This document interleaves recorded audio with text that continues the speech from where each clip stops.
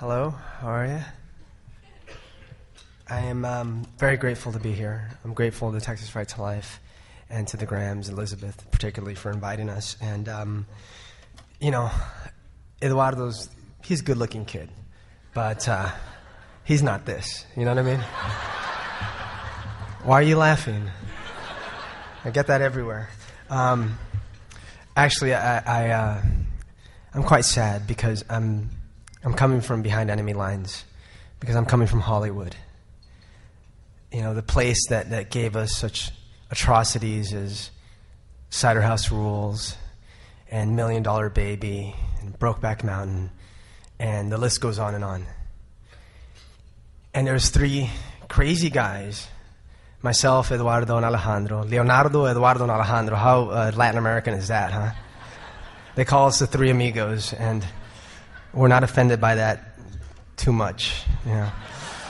But um, we were there and we realized two things. First, the power of the media. We read somewhere that um, meaningful dialogue between parents and children on, a, on any given day is about six minutes. But in front of other media, it's about six hours when you count television, internet, films, music, video games, etc. And uh, it's just a fact. Parents aren't necessarily the biggest influence in kids' lives anymore. And so much of what we see in the culture of death has been in the hearts and minds of the people that have been making the movies and the music that have dominated our culture. And it's just sad, particularly for us as Christians.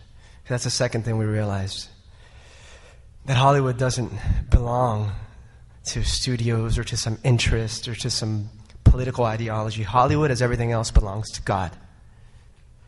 And we are there to try to claim it back for Him.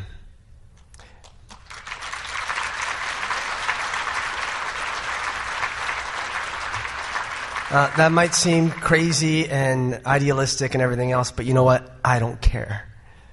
Because I know it to be true. And the three of us came to that very same resolution and, and, and conviction and realization. And it meant a lot of hardships, as it always does, when you decide to follow the Lord. For me, it meant leaving 20th Century Fox. I'm an attorney, don't hold that against me either. And I was doing business affairs at Fox. I mean, leaving all that because I couldn't be part of a, of a big evil empire anymore for our director Alejandro, it meant turning down every single job coming out of film school. You know, basically living out of his, his broken down car. And for Eduardo, who I'll speak about in a little bit, it meant everything. It meant everything that he came to the U.S. for when he realized it was a lie, giving it all up. All the empty pleasures, the fame, the money, the women, everything. And we were willing to do that because our motto right off the bat was what Mother Teresa said that hit to our hearts we're not called to be successful. We're called to be faithful to God. That is our success.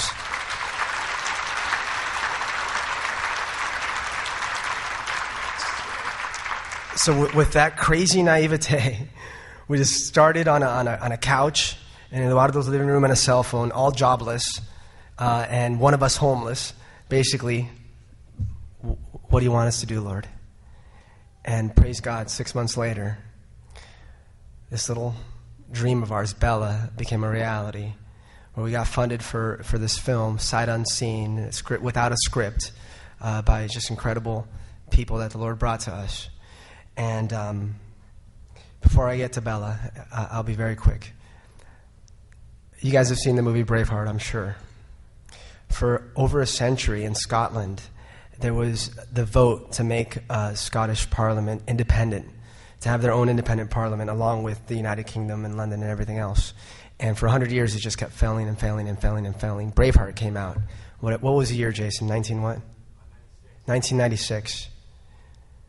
In that year, not only did, did they vote and, and succeed at making an independent Scottish parliament, but it was an overwhelming landslide. Braveheart, great film. Bella has something a little bit different. Somebody said recently, and I don't mind bragging about this because this film came through us, not from us. Bella can be for the pro life movement what Uncle Tom Cabin the book was for slavery.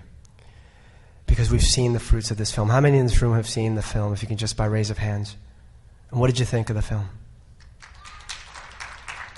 Well, God bless you.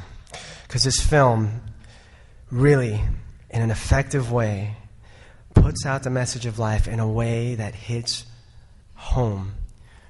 Like I said, within six months of, of the couch and nothing, we were all of a sudden on the set to this film. Within a year, we finished it and we submitted it to the largest film festival in the world, the Toronto International Film Festival. A few thousand films are submitted, only a couple hundred get in. Uh, you know, Babel and Last King of Scotland, All the King's Men, Borat, which is absolute garbage. All these films were there. And here, Little Bella was there. And we were so excited that we got into this festival. And um, crazily enough, films that win that festival, the People's Choice Award, normally they go on for the Oscars. Life is Beautiful, um, Chariots of Fire, Princess Bride, Cyrano, American Beauty, garbage, Hotel Rwanda, so on and so forth. Despite against all odds and everything else, our little film not only got into that festival, but we wound up winning the biggest film festival in the world, which to us is amazing.